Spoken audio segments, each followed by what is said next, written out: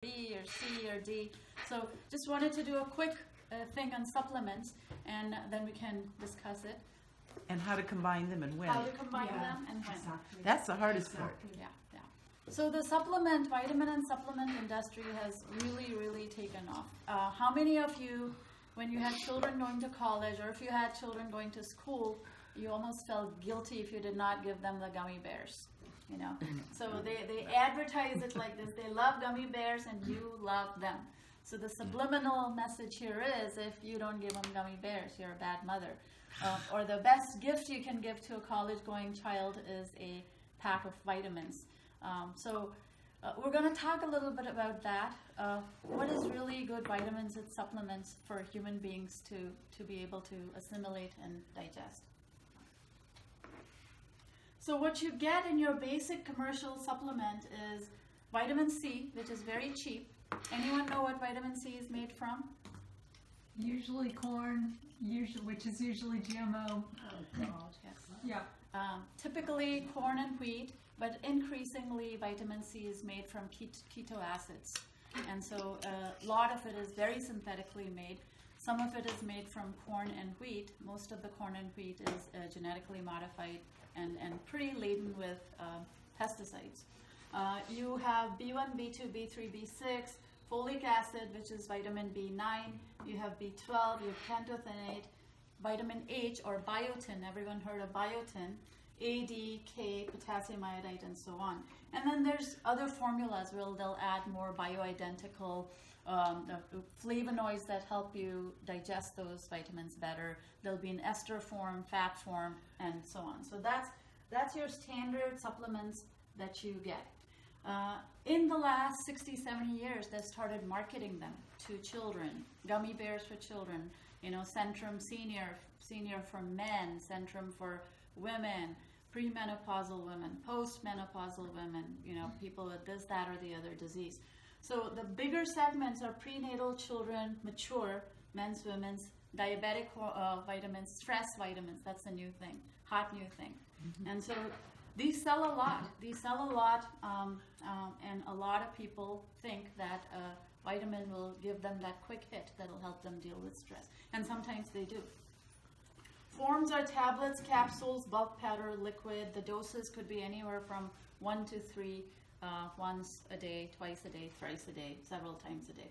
And the vitamins are classified by your daily requirements, uh, required daily allowances that the USDA publishes. So it's 100% or 5% or 3%.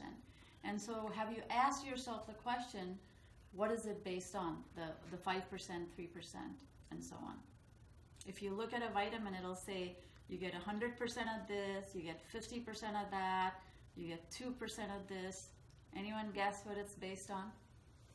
I think that it's the minimum that your body needs not to have major problems. Or what they say is the minimum. Yeah. So the minimum is 100%, but Yeah, no, the, the these are hundred lower. percent, that That, that's the minimum. is yes. based on, that's the minimum. you yes, know, yeah. that they aren't really very scientific, Yes, frankly, in yeah. my opinion. So it's all over the place. In other words, it's all over the place. It's what the marketing uh, company wants to mix as a blend of vitamins, and frequently it's based on price. So biotin is four thousand bucks a pound, and vitamin C is dirt cheap. So you're gonna always have more vitamin C and less biotin. But if you need biotin to assimilate the B vitamins, uh, and you don't have it, you're not. You're gonna basically excrete it out of your feces or your urine. So things that cannot be assimilated are kind of not useful. So that is something you want to keep in mind. High potency typically means much higher vitamin C or vitamin B and some other enhanced vitamins or mineral levels largely the less expensive ones. Largely the less expensive ones. Oh, and just let me just share with you, they closed the door Oh, okay. out there. Okay. Um, so the components that are lower in RDA are generally the more expensive ones. And so when you have biotin, it's usually three to five to thirty percent of RDA in many formulations. The problem is you need it to be present at hundred percent to digest the B vitamins. And if you don't have hundred percent of your biotin in your B vitamin capsules, you're not assimilating the B, meaning it's not going into your body. So that is something to keep in mind.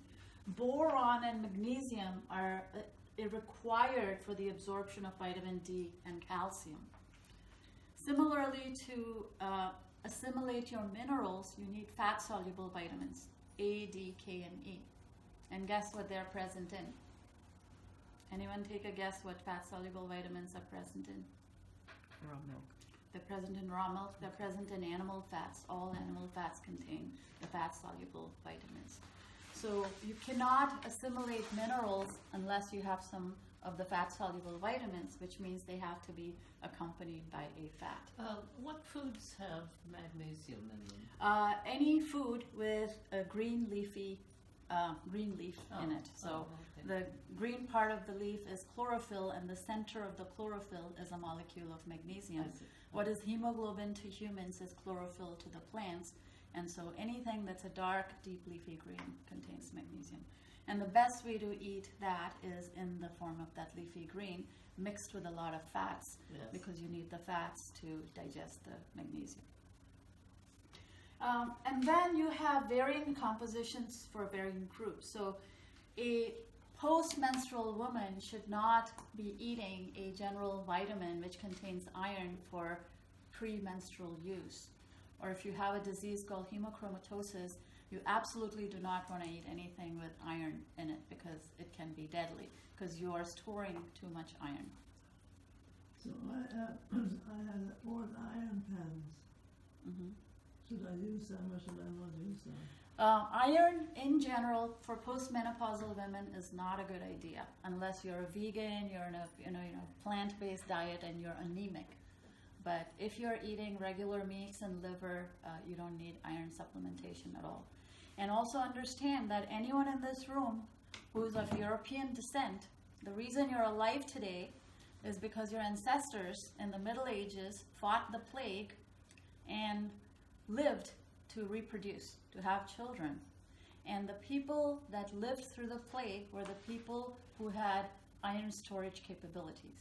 So, by default, anyone who's emigrated to the United States from Europe has a high ability to store iron. Any iron you add to that is going to be toxic, and iron causes a whole bunch of diseases. Uh, iron is um, iron is very subject to oxidation, especially iron that goes in through your vitamins, and so you want to be very careful supplementing. Does that mean you should be careful about using an iron skillet? Uh, if you have high iron overload, uh, overload, so check your ferritin levels, check your transferrin, your iron saturation levels in your blood. It's a good idea. um, but anything you eat that is natural and normal will not increase your iron load the way a supplement will. Chicken liver is a very good idea. So, so just remember that there are some things that are actually toxic in a supplement or a vitamin, and iron is one of the key things to watch out for. Is that for children too?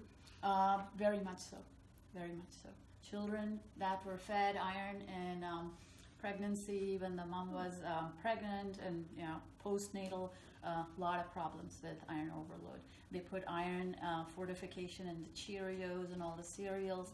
Um, it's creating an epidemic of iron storage related diseases. Uh, what are those? Um, your, your, your iron oxidizes in your blood. Um, iron has to be stored by the liver. Uh, there's a great deal of increase in metabolic disease, diabetes, cardiovascular risk, risk of cancer, and so on and so forth. And you find that people who have higher iron tend to have much more metabolic disease.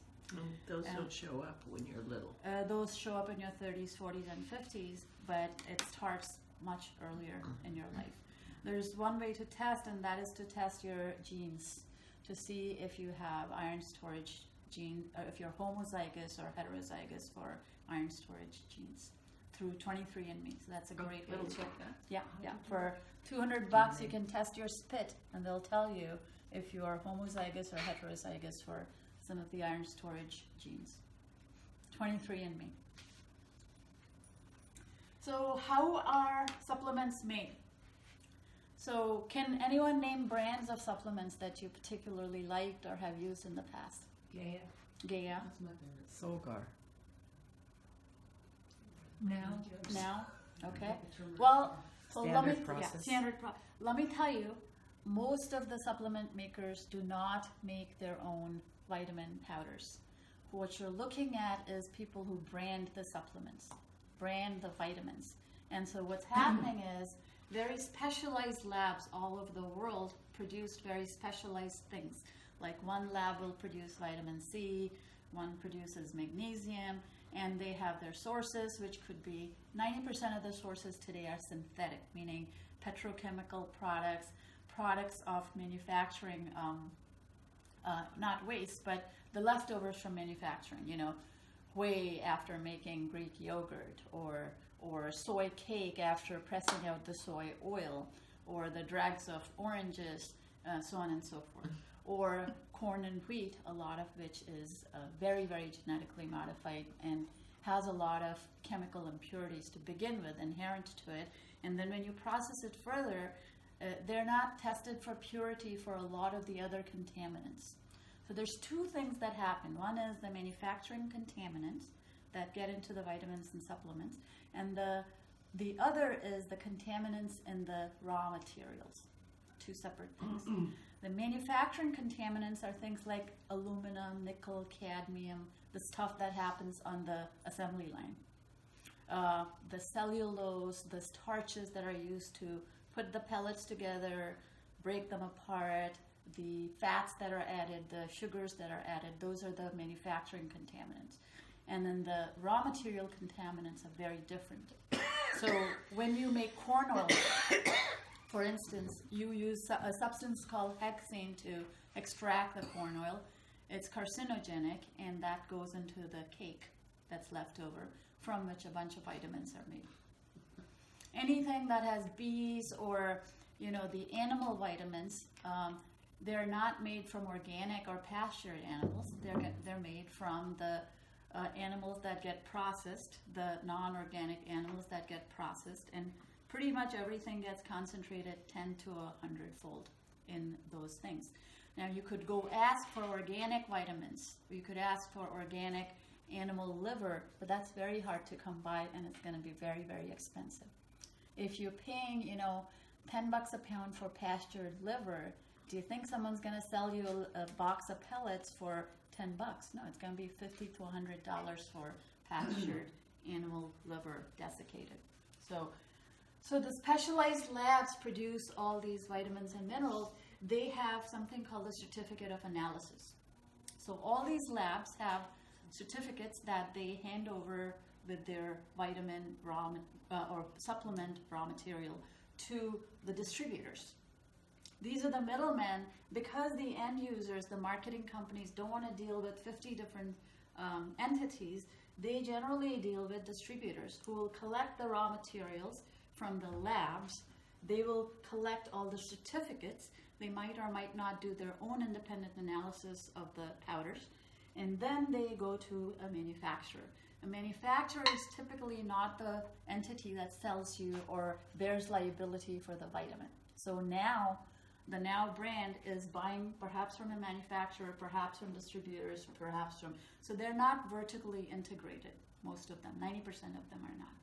And so it's the same certificate of analysis that goes up the supply chain. Yeah, it goes up the chain. And the certificate of analysis is made in the country of origin. Remember that because we're going to come to that in about five minutes.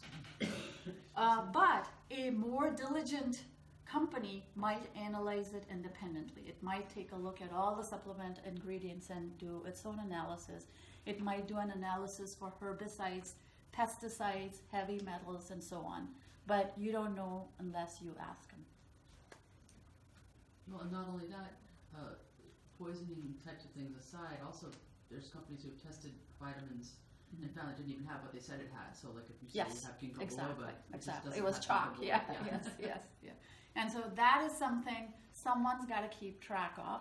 And when there are too many middlemen involved, people lose track of what's actually in that vitamin because all you're getting is a, you know, a ton, a vat of white powder. And unless you trust that distributor and you have uh, had years of relationship, even with that, I would say companies need to test their and analyze their vitamins for uh, to be give a veracious account of of what it actually contains. So vitamins are made um, in a manufacturing process. There's first a preliminary check where the, whoever is manufacturing checks to make sure it really is what they're claiming it to be. Then they blend them. Vitamins, minerals will come in the form of bricks or pellets, um, and they could be mixed up with cellulose to bind them. But in the industrial process, they might not be able to uh, use those bricks. So they got to shred them, then they got to reformulate them. They, they'll- they would use more fillers for that. The other thing is if you need a tiny, teeny, tiny amount of vitamin, it's still got to be put in a capsule because no one's going to sell you a vitamin the size of a pinhead. So they typically cover it up or mix it up with fillers. And the fillers could be cellulose, starch, you know, powders like magnesium stearate, so on and so forth. And we don't know what, what the sources of those fillers are. And those need to be checked as well. So do the fillers have certificates of analysis too? No, they don't. The vitamins typically have certificates of analysis. The fillers are very, very important because you don't want to eat a filler that you're allergic to, or you, you may be a diabetic and you don't want a sugar filler. You may have some other problem. So you want to check what the fillers are and the sources of the fillers. Typically, cellulose fillers are made from uh, industrially grown plant material that is processed, or petrochemicals, or petrochemicals. So they're pre-blended. Then there's a wet granulation. If, the, if it goes through a manufacturing process, it's got to be like dough. So it's got to be wet, wetted again, so that it can be regrouped, reformulated into the right size pieces. Um, then it goes and it's cut into tablets or encapsulated. Um, it is weighed and mixed in a big vat before that happens, so that uh, they know that it has the right RDAs of whatever is listed on that. Then it's tableted, then it's coated, and the coating is different colors, perhaps to, you know, differentiate between the different types. But the colors are very, very toxic, so you want to be careful about not eating supplements that are colored. Uh, they're coated, frequently buffered or not buffered, or they're unpleasant tasting, so they might be coated with, I don't know, sugar or something. And then they're packaged and shot out to you. So by the time a vitamin has come to you, it has traveled, it has made at least two to four 15,000 mile round trips between the United States and the rest of the world.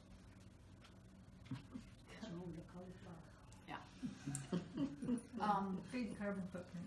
very big carbon footprint. And you don't know really what's in it unless you have a reliable certificate of analysis. But the Codex Alimentarius uh, recognizes this as a category of food. Multivitamins vitamin supplements are commonly provided in combination with minerals. Um, and the definition is a multivitamin mineral supplement is defined in the US as a supplement containing, remember this, three or more vitamins and minerals that does not include herbs, hormones, or drugs where each vitamin and mineral is included at a dose below the tolerable upper limit as determined by the FDA so that it presents no adverse risk. So in its most benign form, a vitamin poses no risks to you. In its more harmless, harmful form, it may present a risk of toxicity to you, or it may do nothing for you. In certain cases, it will do something for you, and those are the vitamins that you want to focus on. The kind of vitamins that are made from uh, real foods, uh, pre- preferably not synthetic- synthetically made from natural ingredients. But there's only a 10% chance that you're going to find those in the marketplace. Um, vitamins were kind of invented or came into being in the 1930s, and that's when they became freely available in your pharmacies and grocery stores. But very soon thereafter, within about 10 years, um, in 1934, there's a company called Nutrilite that introduced the first vitamins, but they were made from natural dried and compressed vegetable and fruit concentrate. And I believe standard process uses still organic pressed and dried ingredients, but almost nobody else does. Hmm. But you want to check. You want to check to make sure that they use natural vegetable and fruit concentrates or natural concentrates of um, non-synthetically made elements. You, you can't buy standard process off the shelf at a store. You have to go through through- some medical person Yeah. to get it. Standard process. Yeah. But uh, I'm not certain that they're organic, so you might want to check. What Um, was the name of the company? Standard, standard process. That's a company. That's a company. Standard process. In the 1940s, they found that making these vitamins was not affordable. No one would buy a vitamin that was made from natural ingredients and pay, you know, 50 bucks a bottle for those. So synthetic vitamin vitamins came into being in the 1940s. And about 90, I would say 95% of what you see on the shelves uh, at the vitamin shop are synthetic vitamins today. So there's a problem of quality, which is the impurities and toxins are concentrated, greatly concentrated. Anyone got questions? Did Mirabai join? Uh, comment? Okay. Um, there are extraction methods that are used that are not mechanical. In the old days, when they made vitamins and uh, vitamins from food materials, there were not no chemicals used. They were dehydrated, they were powdered, and then you got those powders. Which is why Callan's powders, I bought this tiny little powder for 50 bucks because that was a real organically grown vegetable powder that was then dehydrated, concentrated, and so on. But I just most people cannot afford to pay 50 bucks for 20 different vitamins for a family of five. They contain allergens. Many of them contain allergens because they're made from industrial waste products, most of them. They have manufacturing impurities, which is the heavy metals that come into the manufacturing process. They're not organic, and frequently they're made from byproducts that people want to turn into. So all these bars, the Clif bars, and the all these bars are made from proteins that are pressed out of oils, um, and you know they w- would toss it into animal feed or you know incurred great costs to dispose of them, and now you can market it as health food, which is which is a great source of revenue for a lot of these companies. Um, about 90% of all the vitamins, vitamin C, that is sold in the United States today is made in China. So guess where that certificate of analysis is coming from? and a lot of it is made from keto acids. If it is made from wheat or corn, again, it's, it's largely genetically modified. 50% of the world's aspirin comes from China. Uh, the majority of the vitamins A, B12, and E are manufactured in China. Vitamin A is not made from cod livers anymore. It's made from acetone, which is a synthetic uh, industrial uh, solution. Uh, you know, For compound. cleaning paint. Yes, yes. Vitamin C is made from keto acids.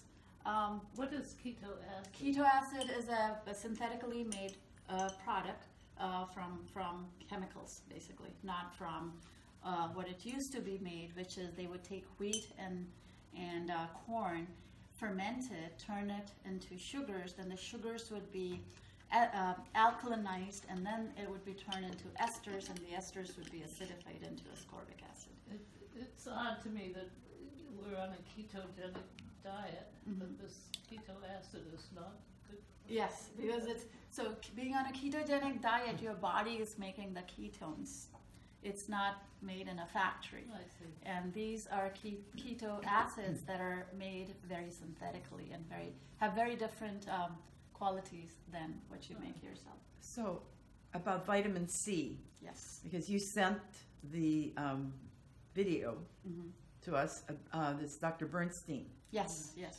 and talks about doing high dose vitamin C and then lysine, hmm hmm and that's for cardiac issues. Oh, Yes. But also just you know, vitamin C for colds and flus and so on.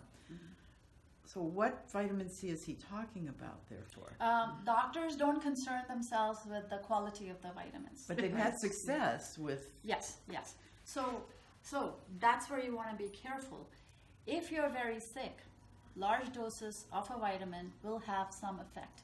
Whether it's the desired effect and whether long term it's a good idea to have a vitamin that's industrially processed is something that you want to think about. Well, Why wouldn't you just recommend eating an orange or fruit type? I mean, Yes, th- this yes, seems a bit, um, yes. you know, But some people can't eat the sugars. Oh, Or- okay. or- I or- mean, I'm just, you know, Yeah, I but the you know, liver contains, um, you know, green vegetables contain vitamin C, so you could you you would get more than your day's supply from eating, you know, dandelion greens or spinach or, or whatever. So, and in food form, it's much more assimilable. The vitamin C in food is not going to give you the runs. It's not going to be toxic to you. It doesn't have other ingredients and fillers and so on. So, think about Because that. This information is quite shocking. I mean, Yes. Right. Yes. That's, that's scary here. I mean, to, to, I love it. This is like a hurtful. Yeah. And so even the vitamin C, you know, it has c- fillers, microcrystal, you know, the esterified vitamin C, uh, lactose, calcium, maltodextrin, magnesium stearate. It has flowing agents. So when you make vitamins in the manufacturing process, you can't just uh, shove it and have it and get encapsulated. If it doesn't move on the assembly line, you gotta add flow agents to it so it doesn't cake. And none of those are food. None of these are food. They're fillers, and they're often very toxic. Vitamin C. There's a vitamin C you can pass. There, there you go. It's non-GMO. And then, The so so besides exactly besides the GMO part, there's a whole bunch of other. Then there's disintegration agents. Remember that vitamins got put together and were glued together, but they want in your belly for these vitamins to get separated. So they got to add to them disintegration agents that when they enter your belly will help to dissolve the vitamin. That's more chemicals that are mixed in with the actual vitamin. There was some study at some point where people were taking vitamins and apparently it, it wasn't even, some of, some brand wasn't breaking down. it Yes. was being Yeah. excreted. Most most vitamins get excreted out completely undigested, and and the porta potty. Any everyone heard of the porta potty story? It's not urban legend. Porta potty cleaners often find at the bottom of their porta potties completely undigested vitamins with the names of the manufacturers on the pills even. Wow. And so you may be peeing and pooping away um, a lot of your vitamins. Poop and go. Well, and the fact that it would not break down. It wouldn't even if sitting in disintegrate. liquid. I mean, Yes. it, it's you have digestive problems. I can understand maybe it would pass all the way through, but then to sit in the bottom of a blue box for a week Right, Yes. right, right. and Well, still not dissolved. Haven't they tested certain pills by putting them into vinegar? And if they don't dissolve in vinegar, they're not gonna dissolve in in, your in your, stomach. your stomach Yeah. or or for reasons unknown even if it passes through your stomach you know half the pill gets pooped out because it was bound together with such strong fillers and lubricants and and uh, and sort of coalescing agents that it cannot disinteg- disintegrate in your alimentary canal Interesting. so if you spent like, where's that vitamin thing? If you spent like, um, not to bash anyone, so I'm gonna hold the brand away. Not to bash anyone, I'm gonna say about, you know, 70, 80 percent of this goes right through you, and what remains contains a lot of this stuff. It Well, you contains can a read lot the of this stuff. label on that. Says it's So that's Yeah. vitamin C. Yeah, that's the vitamin C. And uh, the other ingredients are cellulose capsules, stearic acid, probably to make it move, magnesium stearate, vegetable source, and silica. So these are they're not in small quantities, and this doesn't refer to manufacturing impurities, which can be toxic metals. Typically, uh, there's anywhere from 500 to several thousand micrograms of aluminum, cadmium, nickel, and things that are that are coming off of um, assembly lines, drug assembly lines. So buying like rosehip powder would be a good solution for vitamin Yes, C yes. because that's a food and Yes. it's Yeah. not being augmented. Yeah. So the best thing you can do if you want to go uh, this route is buy herbs, the actual plants, plant powders, and brew up your own teas, and they're pretty rich. And more than that, uh, I would say food. More than that, food. Uh, then there's wax, which is given, um, which is coated, uh, which coats the tablets to give them color or flavor, or to differentiate the tablet from maybe other doses of the same same kind of tablet. So there's a lot of other ingredients that you want to be careful about. Uh, manufacturing impurities, aluminum, cadmium, nickel, hexane. The hexane is a carcinogen. Aluminum is a very potent neurotoxin. Cadmium, nickel, very, very neurotoxic. And if I know of people who eat 20 pills a day, 20 vitamin and mineral supplements